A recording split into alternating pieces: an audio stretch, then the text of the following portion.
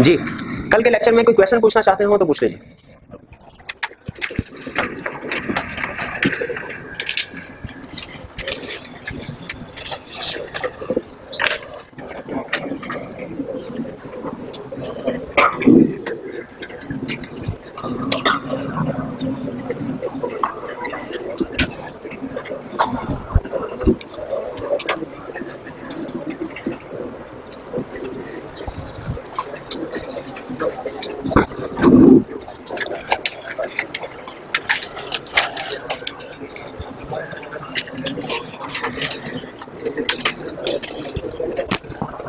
Lecture में question तो पूछ one by G.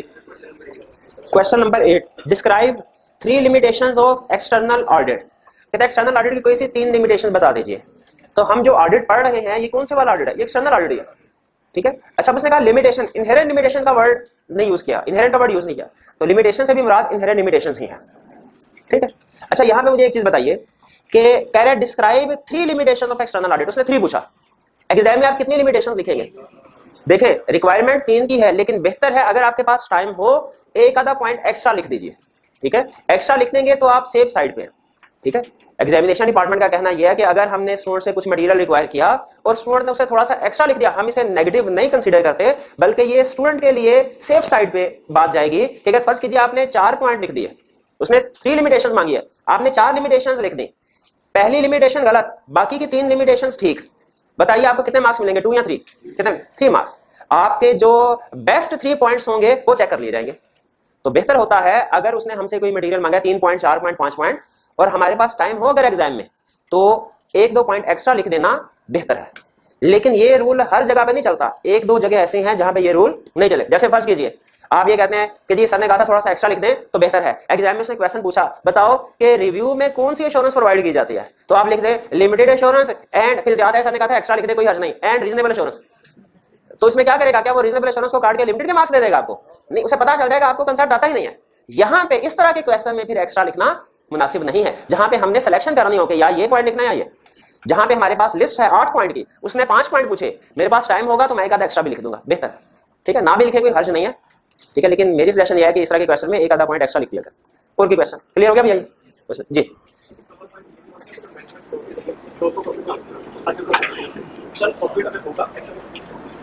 तो थोड़ा सा बोलिएगा मुझे आवाज़ नहीं आ रही। जी जी। नहीं नहीं ज़रूरत नहीं प्रॉफिट होना लदा चीज़ है कैश होना लदा चीज़ है। ठीक है? अगर प्रॉफिट शो करवा दिया मैनेजमेंट अगर फ्रॉडलेंट फाइनेंशियल रिपोर्टिंग के ज़रिए से फाइनेंशियल स्टेटमेंट्स में प्रॉफिट शो करवा देती है ठीक है? तो फिर वो बोनस की इंटाइटलमेंट उनकी हो जाती। है ठीक है? वो कैश हो सकता है, वो बैंक से लोन ले ले। क्योंकि लोन तो फिर वापस कंपनी ना करना होगा ना डायरेक्टर को तो अपना प्रॉफिट मिल जाएगा, जो उसका कमीशन होगा उनके ऊपर। और भी क्वेश्चन कोई क्वेश्चन नहीं। अच्छा एक क्वेश्चन मैं डिस्कस करना चाह रहा हूँ। क्वेश्चन नंबर सेवन कह रहा between absolute and reasonable assurance identify the type of assurance that is expected in an audit of the financial statements, clearly outlining the reasons to justify your point of view. 8 marks ठीक है? ये eight marks देखिए, ये हमारी आई के question bank में भी है, ये वाला क्वेश्चन अगर हम इंटरनेशनल एग्जामिनेशन स्टैंडर्ड्स को सामने रखें तो ये क्वेश्चन जो है, ये एक पुअरली ड्राफ्टेड क्वेश्चन है। अच्छे तरीके से इसको ड्राफ्ट नहीं किया गया। ठीक है? इंटरनेशनल स्टैंडर्ड्स के अगर आप पेपर देखें, दूसरे पेपर देखें अदर बॉडीज के तो वो क्या करते हैं? अगर उन्होंने किसी कंसेप्ट से रिलेटेड तीन चीज़ें पूछनी है ना तो वो करते क्या है? क्वेश्चन नंबर थ्री है। पहले लिखेंगे पार्ट ए पहली चीज़ पूछेंगे। फिर लिखेंगे पार्ट बी दूसरी चीज़ पूछेंगे। फिर लिखेंगे पार्ट सी तीसरी चीज़ पूछेंगे। और हर रिक्वायरमेंट के आगे मार्क्स लिख देंगे। कि भाई पहले के दो मार्क्स हैं, दूसरे के चार मार्क्स हैं और तीसरे के तीन मार्क्स हैं। ताकि स्टूडेंट को क्लियरली अंदाज़ा हो जाए कि क्वेश्चन में वो मुझसे कितनी चीज़ें पूछ रहा है और किस रिक्वायरमेंट को मैंने कितना एक्सप्लेन करना। लेकिन आई कैप के एग्ज़ाम में हमें कई दफ़ा इस तरह का क्वेश्चन नज़र आता है, जब वो एक ही स्टेटमेंट के अंदर दो या तीन चीज़ें पूछ लेता है। चूँकि ये क्लियरली डिफरेंशिएटेड नहीं होती तीनों रिक्वायरमेंट्स तो स्टूडेंट क्वेश्चन को अटेम्प्ट करते हुए गलती कर जाता है, वो एक आधी रिक्वायरमेंट को स्किप कर देते हैं। या किसी एक रिक्वायरमेंट को ज़्यादा एक्सप्लेन करना था, उसको कम कर देंगे, किसी को कम करना था, उसको ज़्यादा कर देंगे। इस क्वेश्चन को अगर आप देखें, मुझे बताइए, इस क्वेश्चन में कितनी रिक्वायरमेंट्स हैं? तीन रिक्वायरमेंट्स हैं। पहले में उसने कहा distinguish between absolute and reasonable assurance ये पहली रिक्वायरमेंट ये अलहदा एक रिक्वायरमेंट है। दूसरे में उसने कहा identify the type of assurance that is expected in audit of financial statements ये अलहदा रिक्वायरमेंट है। कि बताओ एब्सोल्यूट और रीजनेबल में से ऑडिट में कौन सी वाली एश्योरेंस दी जाती है? तीसरा clearly outlining the reasons to justify your point of view reason बताइए अपना पॉइंट ऑफ़ व्यू जस्टिफाई करवाने के लिए। यानी पहले पूछ रहा है एब्सोल्यूट एश्योरेंस रिज़र्व एश्योरेंस बताओ, फिर पूछ रहा है बताओ ऑडिट में कौन सी एश्योरेंस दी जाती है? तीसरे नंबर पे बताओ कि क्यों ये वाली एश्योरेंस दी जाती है जो आप कह रहे हैं। तीन, उसे असूली तौर पे इन तीनों को ए बी सी अलहदा करना चाहिए था, हर एक के आगे मार्क्स देने चाहिए था। अब यहाँ पे उसने कोई इकट्ठा कर दिया, इसमें एक रिस्क तो ये होगा कि स्टूडेंट जब इस क्वेश्चन को अटेम्प्ट कर रहा होगा मे बी वो तीन में से कोई एक रिक्वायरमेंट को स्किप कर जाए। जैसे आपने एक और क्वेश्चन पढ़ा होगा, इसे किसी लर्निंग ऑब्जेक्टिव एंड में था। कि एक्सप्लेन करना है? स्टीवर्डशिप एंड अकाउंटेबिलिटी ठीक है? उस अटेम्प्ट में जिसमें क्वेश्चन आया, बहुत से स्टूडेंट जो उन्होंने स्टीवर्डशिप एक्सप्लेन किया अकाउंटेबिलिटी जो है वो एक्सप्लेन नहीं कर सके। और बाद में आगे कहने लगे, सर, वो हमें उसको पता नहीं चला कि उसने ये दूसरा भी पूछा हुआ है। ठीक है? उसका एग्ज़ाम प्रेशर होता है, वो ज़ाहिर सब, हर स्टूडेंट के साथ ऐसे नहीं हुआ, लेकिन कुछ स्टूडेंट जो है वो गलती खा जाते हैं। तो आपने एग्ज़ाम में फिर हर रिक्वायरमेंट पूरा क्वेश्चन जो है, पूरी रिक्वायरमेंट को गौर से पढ़ना है और डिसाइड करना है इसके अंदर वो कितनी चीज़ें पूछ रहा है। एक पूछ रहा है, दो चीज़ें पूछ रहा है कि तीन चीज़ें पूछ रहा है। ये थ्री इन वन क्वेश्चन है। ठीक है? और फिर आपने खुद से जजमेंट अप्लाई करनी होगी कि किस रिक्वायरमेंट के कितने मार्क्स हैं। खुद से जजमेंट अप्लाई करनी होगी कि पहली वाली में कितने मार्क्स है, दूसरे वाले में कितने तीसरे वाले में कितने टोटल एट मार्क्स है। ठीक है? प्रोबेबली जो मेरी जजमेंट है, ये जो उसने पूछा distinguish between absolute and reasonable assurance इसके शायद दो नंबर होंगे। या तीन नंबर होंगे? दो या तीन? Identify the type of insurance that is expected in audit of financial statement शायद इसका एक मार्क्स हो। एक मार्क क्योंकि हमने सिर्फ़ ये बताना है कौन सी इंश्योरेंस दी जाती है। फिर जो रीजंस पूछ रहा है, इसके शायद तीन ज़्यादा मार्क्स होंगे, तीन चार। ठीक है? तो इस तरह के जब एग्ज़ाम में कोई भी क्वेश्चन आएगा, आपने पहले उसकी रिक्वायरमेंट को तसल्ली से पढ़ लेना है और डिसाइड कर लेना है कि इसके अंदर एक रिक्वायरमेंट है, दो है या तीन है। ठीक है? उसको अंडरलाइन कर लीजिए और अगर मार्क्स एंड पे कंबाइन दिए गए हैं तो वैल्यूएट कीजिए कि किस रिक्वायरमेंट के कितने मार्क्स हो सकते हैं। अब इसको सॉल्व करते हैं। पहला कह रहा है distinguish between absolute and reasonable assurance मुझे बताइए, उसने कह रहा है डिस्टिंग्विश कीजिए डिफरेंशिएट कीजिए। क्या इसका यह मतलब है कि इस तरह का क्वेश्चन जब भी मैंने प्रेजेंट करना है पेज के दरमियान में लाइन लगाऊँगा लेफ़्ट साइड पे एब्सोल्यूट एश्योरेंस लिखूँगा राइट साइड पे रिजनेबल लिखूँगा, और उधर यस नो या चेकलिस्ट फॉर्मेट में इसको अटेम्प्ट करूँगा। क्या इसका यह मतलब है? याद रखिए, इसका यह मतलब लाजमी नहीं है कि इस तरह क्वेश्चन अटेम्प्ट हो। अगर एग्ज़ाम में हमसे कहता है कि डिफरेंशिएट करें दो टर्म्स को, अगर तो हमने डिफरेंस इस तरह कंपेरेटिव फॉर्म में पढ़ा है तो आपने इसको उसी तरह कंपेरेटिव फॉर्म में ही लिखना होगा। लेकिन अगर हमने उसको इस तरह कंपेरेटिव फॉर्म में नहीं पढ़ा तो आपने उसे सिंपल स्टेटमेंट फॉर्म में जैसे डेफिनेशंस लिखते हैं, वैसे ही रिप्रोड्यूस करना है। यहाँ पे उसने कहा डिफरेंशिएट कीजिए एब्सोल्यूट एश्योरेंस और रीजनेबल एश्योरेंस मुझे बताइए कि क्या हमने कोई कांसेप्ट ऐसे पढ़ा, दरमियान में लाइन लगा के लेफ़्ट साइड पे एब्सोल्यूट राइट पे रीजनेबल नहीं पढ़ा? तो इसका मतलब है दोनों की डेफिनेशन पूछ रहा है। Definition is a part of difference definition is a part of difference तो इस क्वेश्चन में हमने क्या करना है? दोनों की डेफिनेशन लिखना है। पहले क्वेश्चन को अटेम्प्ट करते हुए जहन में रखिएगा। उसने एग्जामिनर ने क्वेश्चन को पुअरली ड्राफ्ट किया है पेपर सेटर में। हमने अपने सोल्यूशन को पुअरली ड्राफ्ट नहीं करना। हमें पता है क्वेश्चन में उसने तीन चीज़ें पूछी हैं। हम अपने आंसर में तीनों को क्लियरली डिफरेंशिएट करेंगे अलग अलग हेडिंग देंगे। मैं पहली हेडिंग दूँगा distinction between absolute and reasonable assurance फिर नीचे लिखूँगा एब्सोल्यूट एश्योरेंस उसको डिफाइन कर दूँगा। फिर लिखूँगा रीजनेबल एश्योरेंस उसको डिफाइन कर दूँगा। ये बात क्लियर फिर इसके बाद हेडिंग दूँगा type of assurance that is expected in an audit of financial statements इसका आंसर लिखूँगा। फिर तीसरी हेडिंग दूँगा reasons to justify my point of view उसके बाद वो रीजन लिखूँगा। क्लियर हो गया? हमने क्वेश्चन में उसने जितनी रिक्वायरमेंट्स पूछी हैं, उनको अलग अलग क्लियरली डिफरेंशिएट करना है। उसे पता चलना चाहिए कि मेरी किस रिक्वायरमेंट का क्या आंसर खिचड़ी नहीं बताने। ठीक? अच्छा पहला एब्सोल्यूट रिजनेबल आप बता देंगे। क्या है? Reasonable high but not absolute level of assurance which is expressed in positive form of conclusion ठीक? एब्सोल्यूट की क्या definition 100% guarantee that financial free from all misstatements ये है एब्सोल्यूट का मतलब। Identify the type of assurance that is expected in an audit of financial statement audit में दोनों में से कौन सी एश्योरेंस दी जाती है? एब्सोल्यूट एश्योरेंस नहीं दी जाती। रीजनेबल एश्योरेंस दी जाती है। हेडिंग देखना type of assurance expected in audit of financial statement अगर आप सिर्फ़ इतना भी लिख देना रीजनेबल एश्योरेंस आपको पूरे मार्क्स मिलेंगे। क्योंकि कांसेप्ट आपने उसे बता दिया। लेकिन अगर आप उसको एक प्रॉपर सेंटेंस फॉर्म में लिखना चाहते हैं, वो भी लिख सकते हैं कि reasonable assurance is provided in an audit of financial statement वो भी ठीक है। लेकिन अगर आप मेन कंसेप्ट उसको प्रोड्यूस कर देते हैं तो वो भी ठीक है। तीसरा clearly outlining the reasons to justify your point of view कहता है, बताओ एब्सोल्यूट और रीजनेबल में आपने कहा ऑडिट में रीजनेबल एश्योरेंस दी जाती है। जस्टिफाई करो रीजन बताओ। क्यों? क्यों रीजनेबल एश्योरेंस दी जाती है? क्यों एब्सोल्यूट एश्योरेंस आपने सेलेक्ट नहीं की? ऑडिट में क्यों रीजनेबल एश्योरेंस दी जाती है एब्सोल्यूट एश्योरेंस नहीं दी जाती? इनहेरेंट लिमिटेशंस की वजह क्या मैं एग्ज़ाम में सिर्फ़ इतना लिख? दूँ due to inherent limitations of audit तो इनको आगे एक्सप्लेन भी करना है। एक्सप्लेन भी करना है। अच्छा आप गैस कीजिए एक्सप्लेन करते हुए अगर फ़र्ज़ कीजिए, इसमें पाँच मार्क्स हैं, इस रिक्वायरमेंट के। फ़र्ज़ कीजिए तो आप कितने पॉइंट लिखेंगे?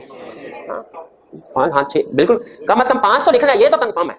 पाँच सौ लिखने अगर फाइव मार्क्स हैं। अगर हमारे पास टाइम हो तो एक दो एक्स्ट्रा भी लिखने, कोई हर्ज नहीं। ये क्वेश्चन क्लियर हो गया?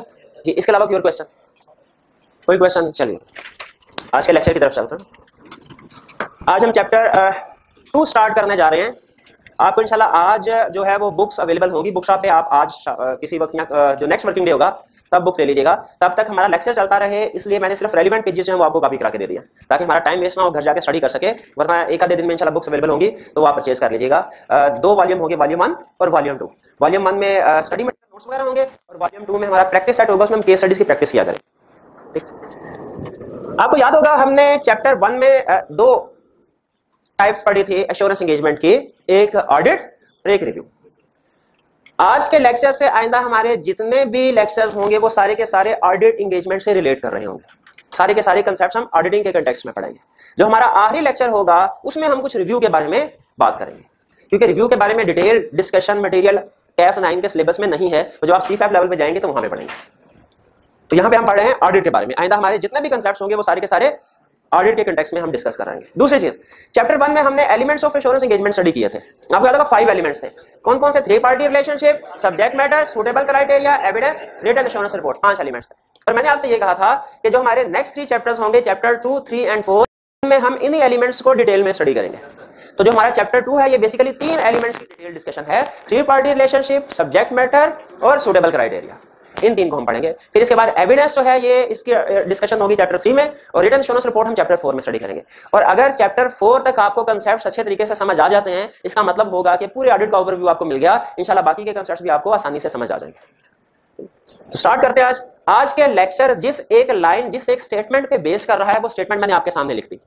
वो स्टेटमेंट क्या है कि auditor shall check whether financial statements are prepared in accordance with applicable financial reporting framework and give true and fair view ठीक है? अभी तक आपने वर्ड पढ़ा होगा फ्रेमवर्क ठीक है? तो इसको मैं थोड़ा सा चेंज कर देता हूँ। स्टेटमेंट बने auditor shall check whether financial statements are prepared in accordance with framework framework याद है किसको हमने कहा था? Criteria and give true and fair view ये फाइनेंशियल स्टेटमेंट्स फ्रेमवर्क के मुताबिक बनी हो और true and fair view present करते हो। ये लाइन जो है इसका मतलब समझ आ रहा है वो कहना क्या चाह रहा है?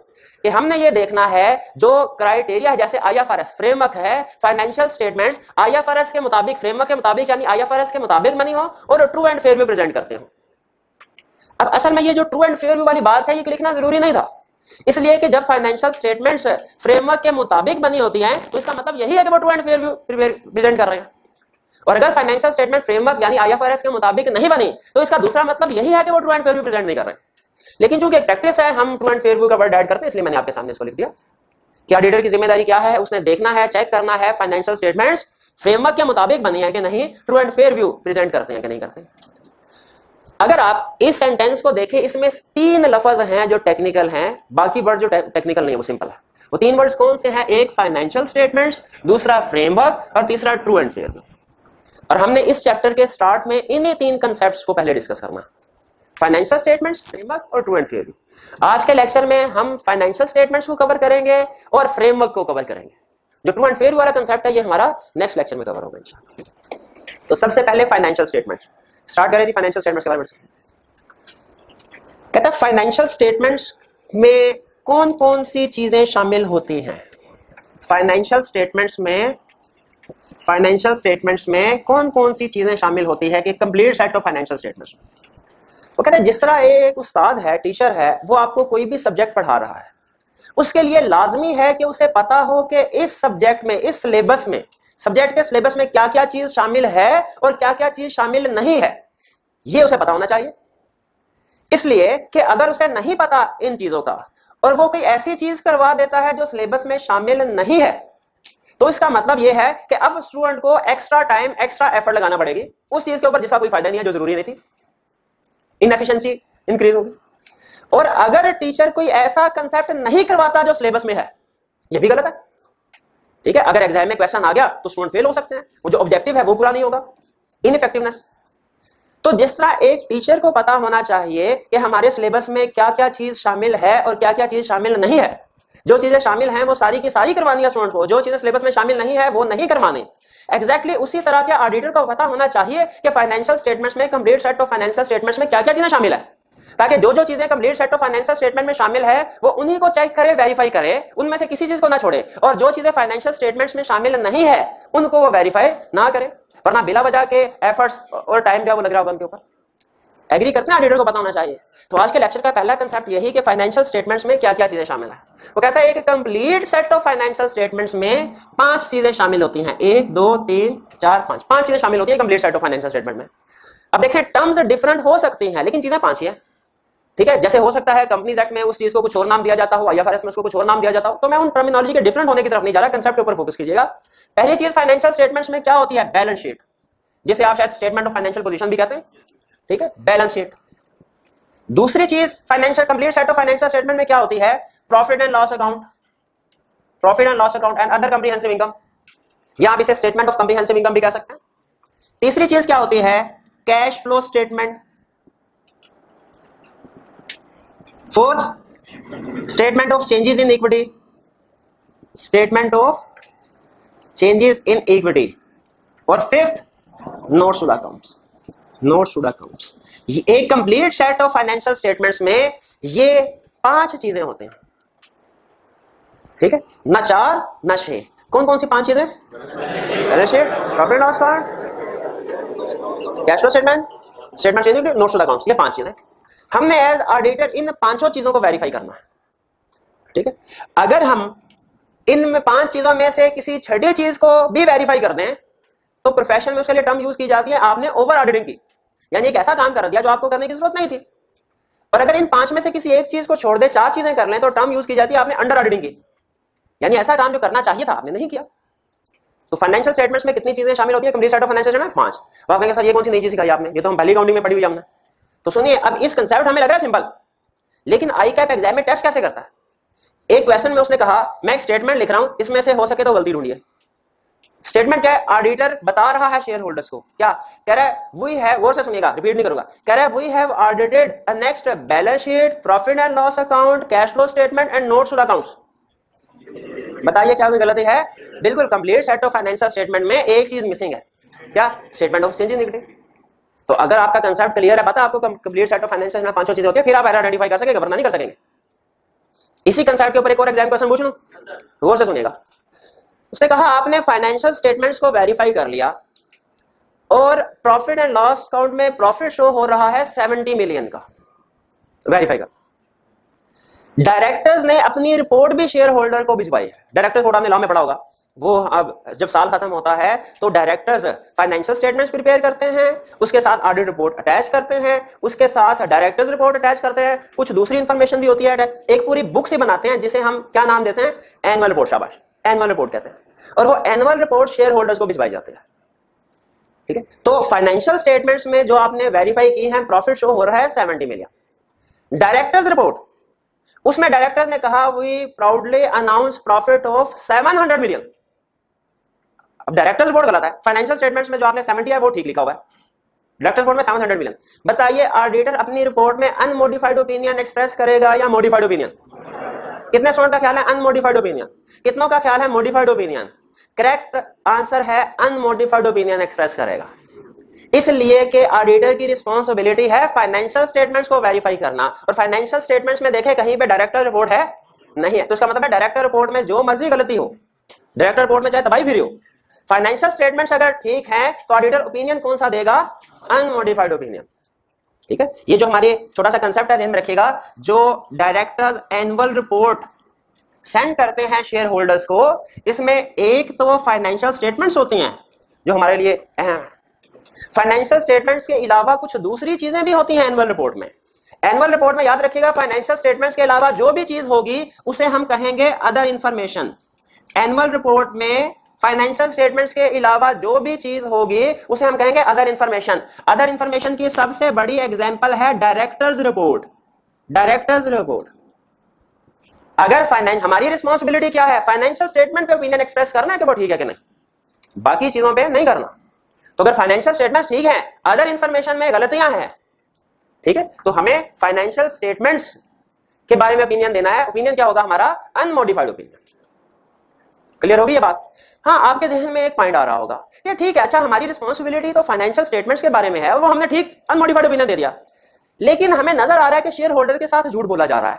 तो क्या अखलाकी तौर पे एक अच्छा ऑडिटर होने के नाते हमें शेयर होल्डर्स को बता नहीं देना चाहिए किसी ना किसी तरीके से? कि वो गलत है। तो देख में रखिएगा ओपिनियन हमने फाइनेंशियल स्टेटमेंट्स में देना अदर इन्फॉर्मेशन के ओपिनियन नहीं अदर इन्फॉर्मेशन के बारे में हम जिम्मेदार नहीं है। लेकिन फिर भी अगर हमें इसमें कोई गलती नज़र आ जाती है तो हो सकता है कि हम शेयर होल्डर को किसी ना किसी तरीके से कम्युनिकेट कर दें अच्छा ऑडिटर होने के नाते। अब वो कम्युनिकेट करते हैं कि नहीं? और कम्युनिकेट करते हैं तो कैसे करते हैं? ये आज के लेक्चर का हिस्सा नहीं। क्लियर हो गए तो अभी तक हमने क्या सीखा? कि फाइनेंशियल स्टेटमेंट्स में कितनी चीज़ें हैं। और मैंने आपको दो एग्ज़ाम्पल से बता दिया कि एग्ज़ाम में क्वेश्चन कैसे टेस्ट हो सकता है। अब आप रीडिंग कर लीजिए आपके पास दो मिनट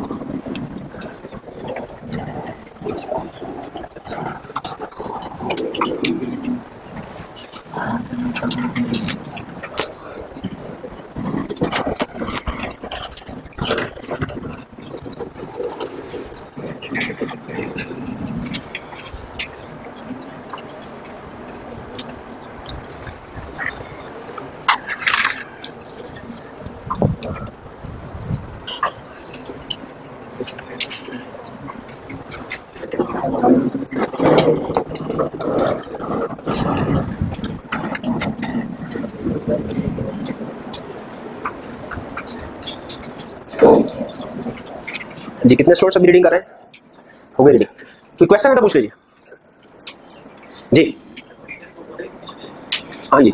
रिपोर्ट जो एनुअल रिपोर्ट है इसमें एक तो फाइनेंशियल स्टेटमेंट्स है एक अदर इन्फॉर्मेशन है। ठीक है? आपके लेवल के लिए आपके लिए इतना जानना ज़रूरी है कि एनुअल रिपोर्ट में फाइनेंशियल स्टेटमेंट्स के अलावा जो भी इन्फॉर्मेशन होगी वो अदर इन्फॉर्मेशन होगी। Technically auditor report other information का हिस्सा नहीं होती। वो रहता होती। ठीक है? लेकिन कंसेप्ट इतना काफ़ी आपके लिए ठीक है? अदर इन्फॉर्मेशन की सही डेफिनेशन ये है कि एनुअल रिपोर्ट में फाइनेंशियल स्टेटमेंट्स और ऑडिट रिपोर्ट के अलावा जो भी इन्फॉर्मेशन है, वो इन्फॉर्मेशन कहलाती है। और भी क्वेश्चन कोई क्वेश्चन नहीं। चलिए नेक्स्ट कंसेप्ट की तरफ़ चलते हैं। नेक्स्ट हम स्टडी करने जा रहे हैं second concept applicable financial reporting framework applicable financial reporting framework ये जो फाइनेंशियल स्टेटमेंट था, हमारा फाइव एलिमेंट्स में से कौन सा वाला एलिमेंट था? सब्जेक्ट मैटर और अब ये जो एप्लीकेबल फाइनेंशियल रिपोर्टिंग फ्रेमवर्क हम पढ़ने जा रहे हैं, ये हमारा फाइव एलिमेंट सुटेबल क्राइटेरिया मुझे बताइए क्राइटेरिया यानी जिसे हमने फ्रेमवर्क भी पढ़ा था क्राइटेरिया या फ्रेमवर्क क्या है? ये वो रूल्स एंड रेगुलेशंस हैं जिनके मुताबिक फाइनेंशियल स्टेटमेंट्स प्रिपेयर होते हैं।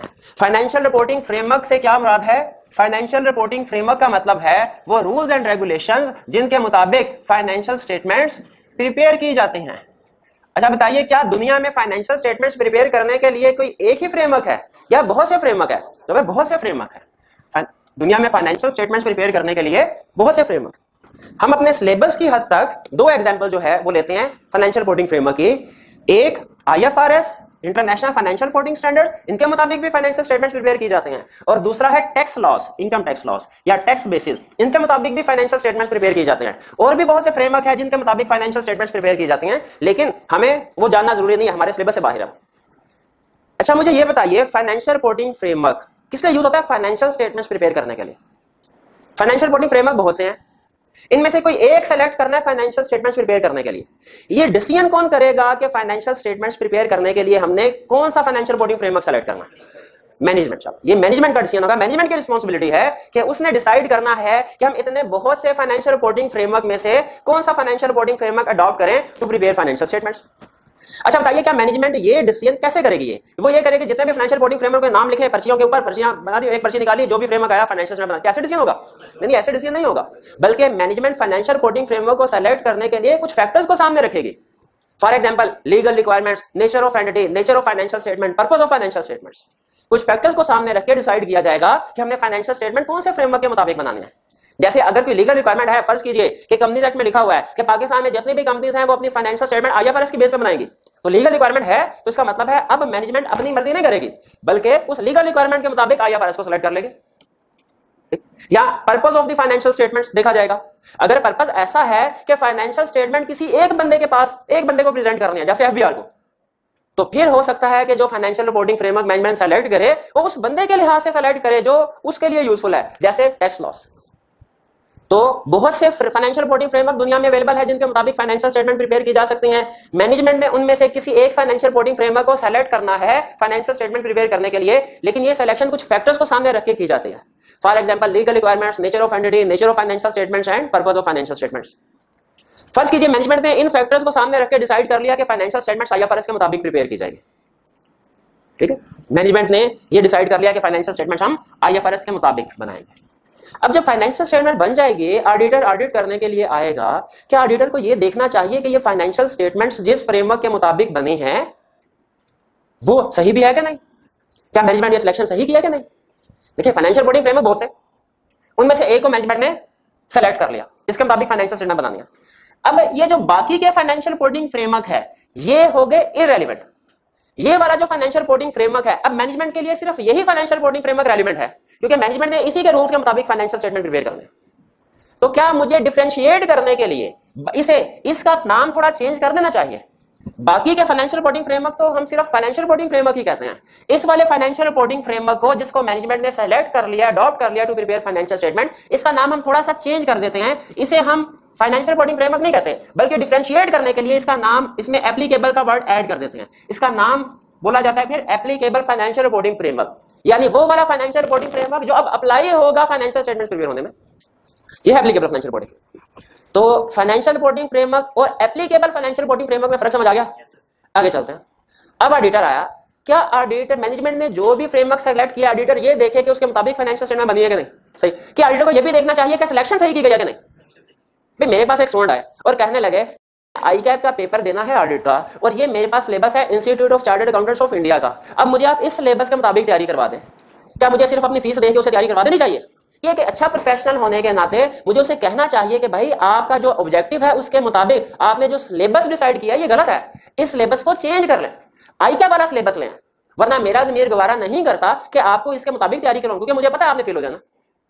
उसी तरह, अगर मैनेजमेंट ने फाइनेंशियल स्टेटमेंट्स जो है वो भिजवानी है एफ़ को, और applicable financial reporting framework select कर ले आईएफआरएस मुझे बताइए, क्या ऑडिटर को ऐसे क्लाइंट को एक्सेप्ट करके ऑडिट करते रहना चाहिए? कि पहले उसे कहना चाहिए कि भाई, अपना एप्लीकेबल फाइनेंशियल रिपोर्टिंग फ्रेमवर्क आपने गलत सेलेक्ट किया है, इसको चेंज करें।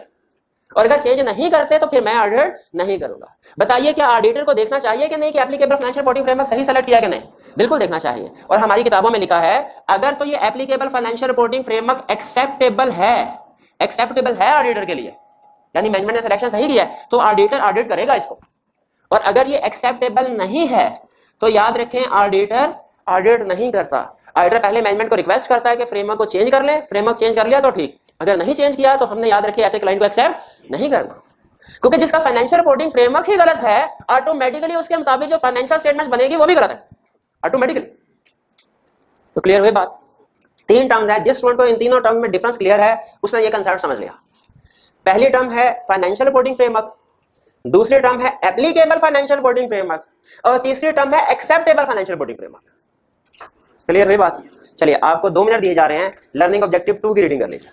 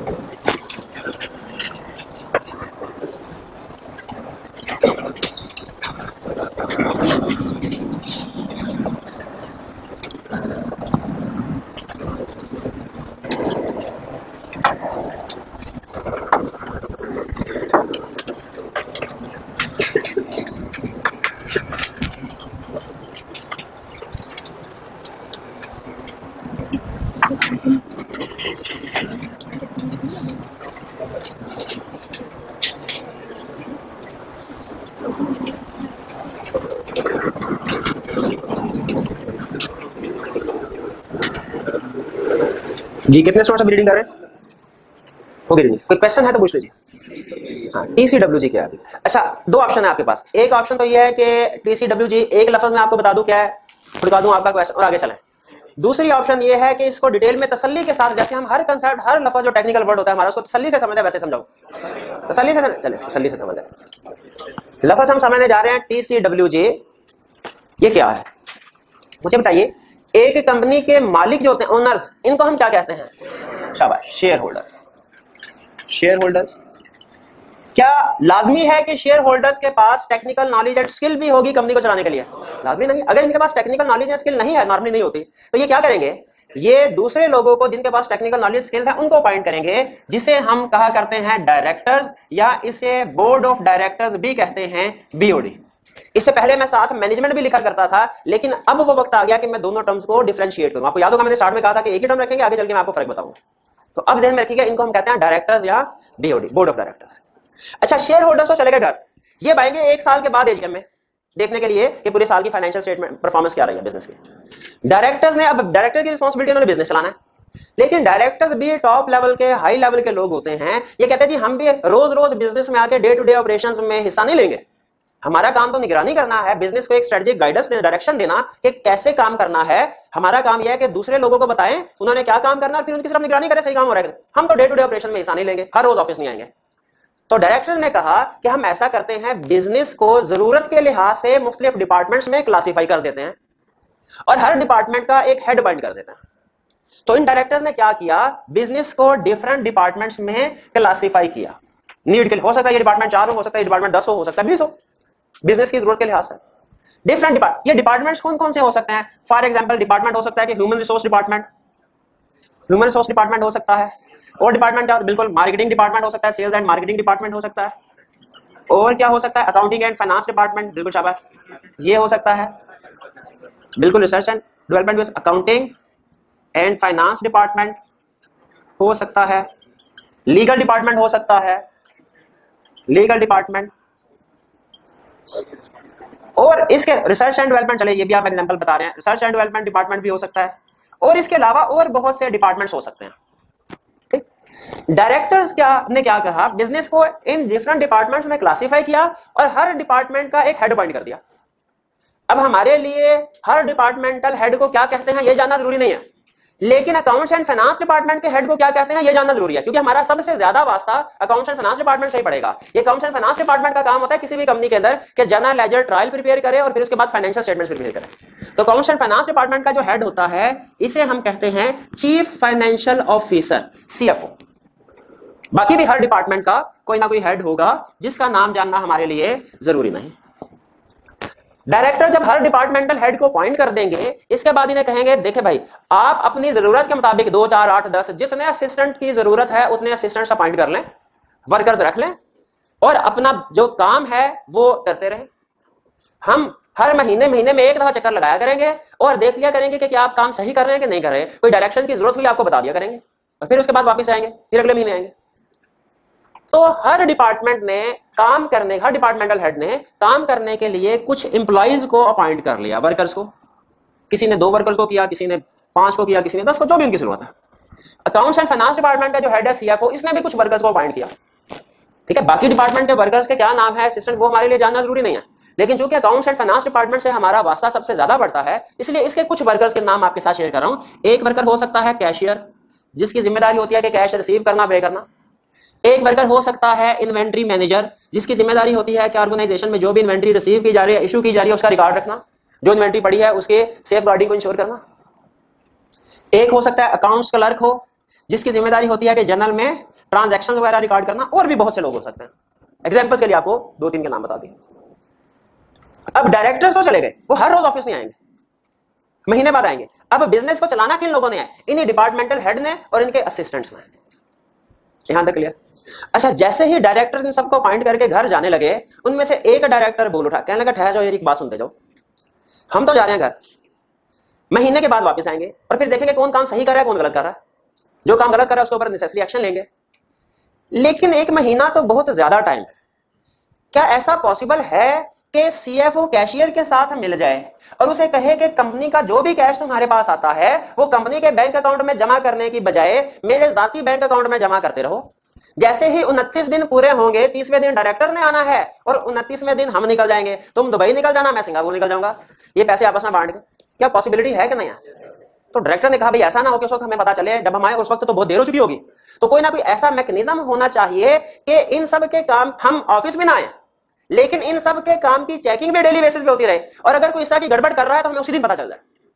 मैंने कहा हाँ बिल्कुल, एक सिस्टम है। क्या सिस्टम उनका जहाँ हमने इतने सारे डिपार्टमेंट स्टैब्लिश किए हैं काम करने के लिए, वहाँ पे एक और डिपार्टमेंट स्टैब्लिश कर लेते हैं। इस डिपार्टमेंट को नाम दिया जाता है इंटरनल ऑडिट डिपार्टमेंट का। क्या नाम दिया जाता है? इंटरनल ऑडिट डिपार्टमेंट का। इसको, इसके, इसमें इंटरनल ऑडिट डिपार्टमेंट में जो लोग काम करते हैं, उन्हें कहा जाता है इंटरनल ऑडिटर्स डायरेक्टर्स ने एक एडिशनल डिपार्टमेंट स्टैब्लिश किया इंटरनल ऑडिट डिपार्टमेंट के नाम से। और इंटरनल ऑडिट डिपार्टमेंट वाले लोग ने पूछा, सर, हमने क्या काम करना है? उन्होंने कहा, काम आपने ये करना है कि कोई काम नहीं करना। बल्कि जो दूसरे लोग काम कर रहे हैं डिपार्टमेंट्स उनके काम को चेक करना है, सही कर रहे हैं कि नहीं कर रहे अगर आपको लगता है कि काम सही नहीं कर रहे जो जो ये प्रॉब्लम कर रहे हैं, उनको नोट करते जाएँ। अगर तो प्रॉब्लम कोई रूटीन नेचर की छोटी मोटी प्रॉब्लम तो उसको नोट करते जाएँ। और जब हम महीने बाद आएँगे तो हमें एक रिपोर्ट की शक्ल में सारी प्रॉब्लम दे दीजिएगा, इस डिपार्टमेंट वाले ये काम कर रहे हैं, इस डिपार्टमेंट वाले ये काम गलत किया। लेकिन अगर कोई बड़ा मसला हो, जैसे फ्रॉड वगैरह का तो फिर महीना गुजरने का इंतज़ार ना करना, ये हमारा मोबाइल नंबर है फौरी कॉल कर देना हमें। हम इमीडिएटली एक्शन लेंगे इसके ऊपर। इंटरनल ऑडिट मारने का बिल्कुल ठीक है। यहाँ तक स्ट्रक्चर क्लियर है। अब मैं आपके साथ टर्म्स जो है वो शेयर कर रहा हूँ, जो कि यूज़ की गई हैं टेक्निकल टर्म्स हैं, जो कि यूज़ की गई। सबसे पहले, ये जो असिस्टेंट्स होते हैं जिनको डिपार्टमेंटल हेड्स ने अपॉइंट किया, इन असिस्टेंट्स को, इन वर्कर्स को, ताकि ये डे टू डे बेसिस पे काम करते रहे इन लोगों को हमारे ऑडिट में नाम दिया जाता है इंप्लॉइज का। इनको नाम क्या दिया जाता है? इंप्लॉइज का। ये जो डिपार्टमेंटल हेड होते हैं डिपार्टमेंटल हेड है, हर डिपार्टमेंट का जो हेड है, इन लोगों को हमारे ऑडिट में नाम दिया जाता है मैनेजमेंट का मैनेजमेंट का। एम्प्लॉय में और मैनेजमेंट में फ़र्क समझ आया? और ये जो लोग हैं, जिनका काम डायरेक्टर्स और इंटरनल ऑडिट डिपार्टमेंट जिनका काम है कि बाकी लोगों की निगरानी करना कि ये लोग सही काम कर रहे हैं कि नहीं कर रहे, इन लोगों को कहा जाता है T C W G those वो लोग चार्ज विद जो इंचार्ज हैं, जो रिस्पॉन्सिबल है इस चीज़ के, किसके? गवर्नेंस एक कंपनी में गुड गवर्नेंस हो।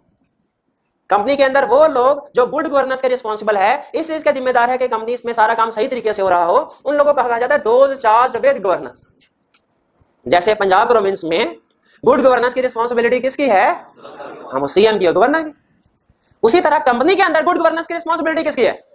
डायरेक्टर्स की।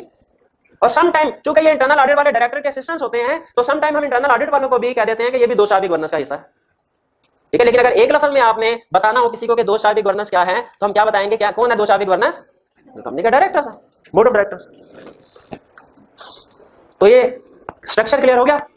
अब ये इसको तसल्ली से समझ लीजिए नोट कर लीजिए। आइंदा अगर कभी आप मेरे से पूछेंगे ना टीसीडब्ल्यू जी का मतलब मैं बताऊँगा तो ज़रूर तब भी लेकिन इतना डिटेल में नहीं बताऊँगा।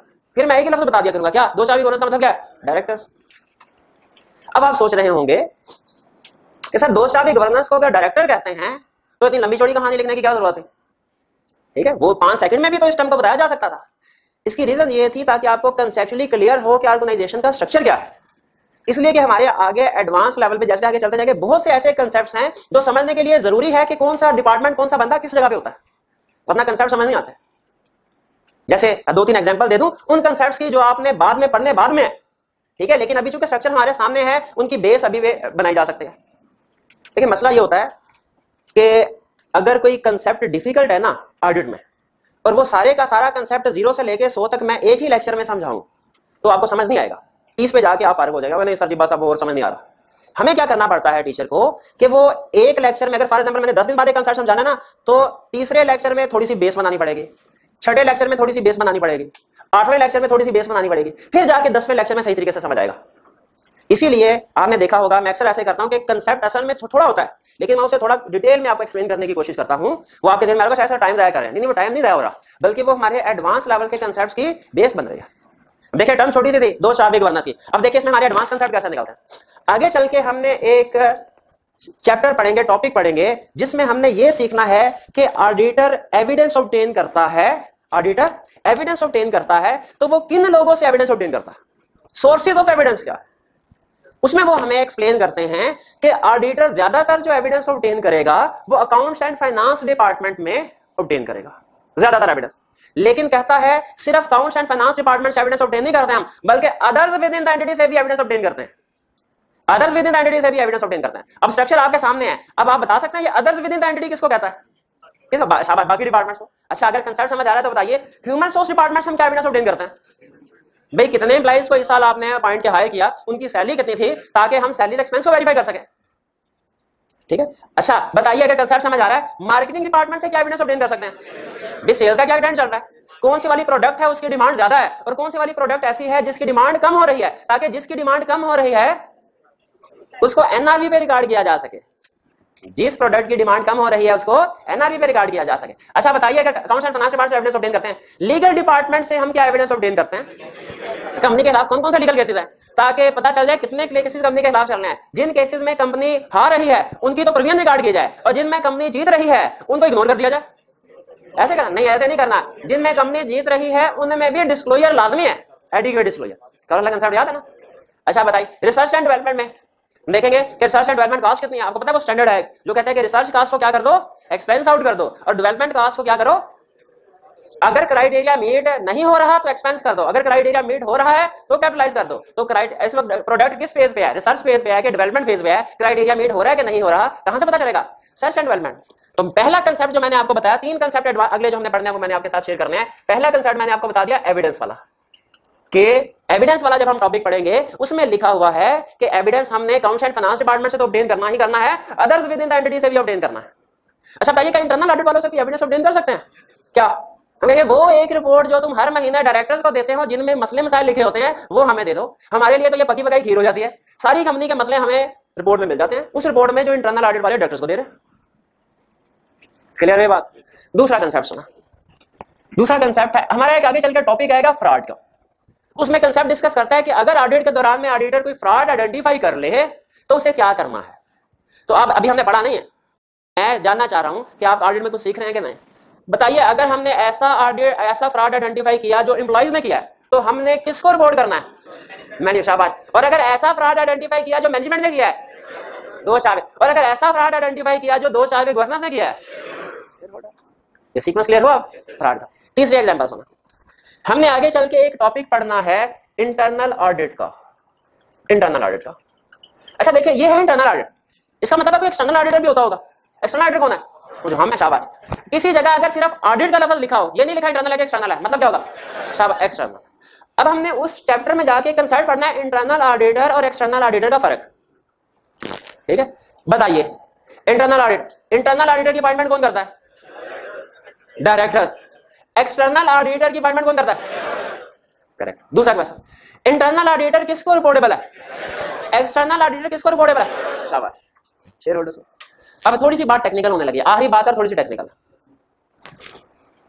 एक्सटर्नल ऑडिटर और इंटरनल ऑडिटर में से कौन सा ऑडिटर इंडिपेंडेंट है? एक्सटर्नल इंटरनल ऑडिटर तो एम्प्लॉय है। अब लाइन सुनिएगा मैं इस, इस कंसेप्ट को स्टेटमेंट फॉर्म में बताने जा रहा हूँ। External auditor is independent of entity entity means company external auditor is independent of company internal auditor is not independent of company यहाँ तक बात समझ आई? लेकिन ये कंसर्ट पूरा नहीं। अब सुनिएगा अटेंटिव होके। External auditor is independent of company internal auditor is not independent of company but it should be independent of management ये बात समझ आती है? कि इसे मैनेजमेंट से इंडिपेंडेंट होना चाहिए क्योंकि उसके काम को चेक करके रिपोर्ट करना है। अब देखें आई क्या आपने क्वेश्चन पूछा दो तीन क्वेश्चन आपके साथ शेयर करता हूँ। केस स्टडी बेस्ड क्वेश्चन थे ये। केस स्टडी में से कंसेप्ट उठाया ये। पहला पॉइंट उसने कहा इंटरनल ऑडिटर इन सब के काम की निगरानी करता है रिपोर्ट बनाता है, जो भी मसले मसाइल नज़र आए, और वो रिपोर्ट देता है सीएफओ को, फिर सीएफओ वो रिपोर्ट देता है डायरेक्टर को। बताइए, कोई प्रॉब्लम है कि नहीं? बिल्कुल प्रॉब्लम है। हमने कहा, ये क्या वो सीएफओ को रिपोर्ट देगा? तो सीएफओ तो अपने सारे मसले मसाइल डिलीट करके अपनी क्लीन रिपोर्ट ऊपर डायरेक्टर को दे देगा। क्या ये इंडिपेंडेंट है सिचुएशन में? नहीं। होना क्या चाहिए? इंटरनल ऑडिटर को डायरेक्टली रिपोर्ट करना चाहिए। ये क्लियर दूसरा क्वेश्चन कहा इंटरनल ऑडिट डिपार्टमेंट में जो लोग अपॉइंट किए जाते हैं हायरिंग फायरिंग का डिसीज़न प्रमोशन का डिसीज़न ये सीएफओ करता है। बताइए इंडिपेंडेंट है? कोई इंडिपेंडेंट नहीं। हमने कहा सारे डिसीज़न सीएफओ करता है तो वो तो अपॉइंटमेंट के बाद उस बंदे से पूछेगा हाँ भाई मेरी शिकायत लगाओगे डायरेक्टर को? वो कहेगा, सर, अगर गलत काम करेंगे तो लगाऊँगा। वो कहेगा, इसकी नौबत ही नहीं आएगी फारूक तुम। वो पॉइंट नहीं करेगा। प्रमोशन करनी है तो पहले उसे, जो उसकी अच्छी रिपोर्ट बना के दिया करेगा, उसकी प्रमोशन कर दे। तो याद रखिए हायरिंग फायरिंग प्रमोशन के डिसीज़न किसको करना चाहिए? डायरेक्टर्स को। तीसरा क्वेश्चन केस स्टडी में उसने कहा इंटरनल ऑडिट डिपार्टमेंट का जो चीफ है और जो सीएफओ है, ये बचपन के दोस्त हैं। बताइए इंडिपेंडेंस है? कोई इंडिपेंडेंस नहीं। बचपन के दोस्ती से थोड़ी लगाएगा? दोस्ती का हक अदा करेगा वो? आखिरी क्वेश्चन उसने कहा सीएफओ गया रोता रोता डायरेक्टर के पास। कहने लगा, सर, ये देखें, हमने काम करना होता है। इंटरनल ऑडिट में काम चेक करना होता है। हमारा काम ज़्यादा है, इनका काम कम है।